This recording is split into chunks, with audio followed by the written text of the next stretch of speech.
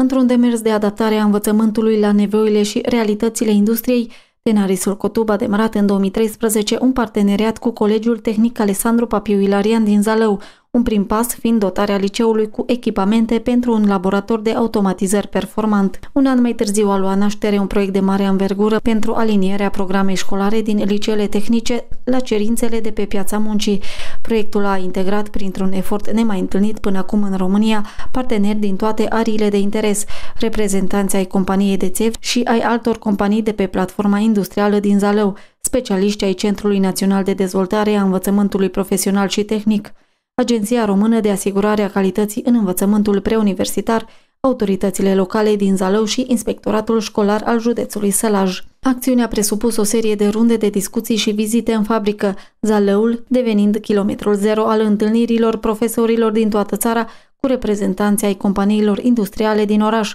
pentru a analiza cerințele actuale și viitoare de pe piața muncii și pentru a actualiza programa școlară în domenii precum mecanică, electrică și electronică, automatizări. Ca rezultat, în anul școlar 2014-2015, planul de școlarizare al Colegiului Tehnic Alessandru Papiu Ilarian Zalău prevedea o nouă specializare tehnician, prelucrări pe mașini cu o comandă numerică, iar un an mai târziu specializarea tehnician în instalații electrice. Tot în anul școlar 2014-2015, compania a investit într-un laborator de mecanică, iar 91 de elevi au fost beneficiarii unor burse tehnice acordate de companie. La patru ani după introducerea în planul de școlarizare a primei specializări, au absolvit primele generații de tehnicieni, dat fiind profilul mecanic al liceului, generațiile de absolvenți cu specializarea tehnician CNC au putut susține examenele de certificare a competențelor profesionale în liceu, dar elevii care au ales să devină tehnicieni în instalații electrice au fost nevoiți să susțină aceste examene la liceele acreditate din proximitate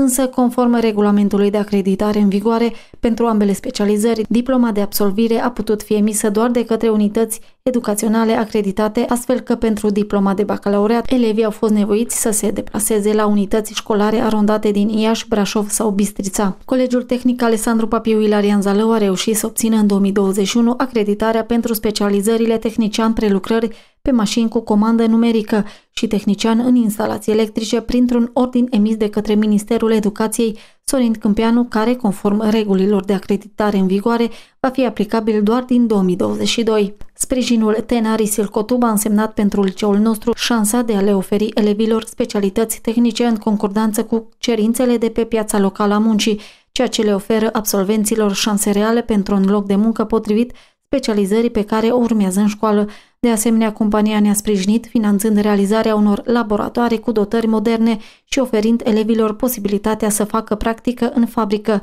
Nu în ultimul rând, trebuie să le mulțumim pentru sprijinul acordat în cadrul proiectului O școală pentru viitorul tău, prin care am făcut acțiuni de popularizare a noilor specializări în rândul absolvenților claselor a 8 -a, susține directorul adjunct al Colegiului Tehnic Alessandru Papiu Ilarian, Zalău Flavia Negrea.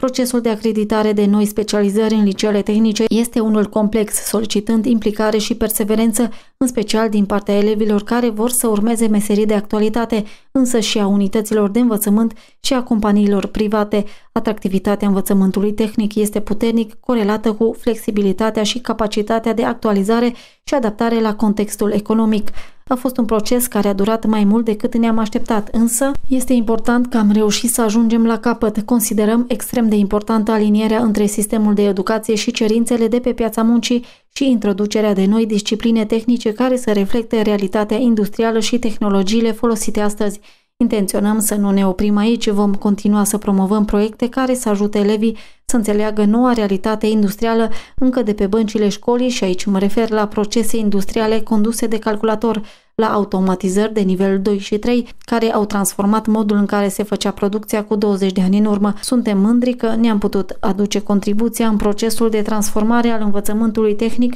și mulțumim tuturor celorlalte părți implicate în acest proces pentru tenacitate și perseverență, precizează Mihaela Popescu, președintele companiei.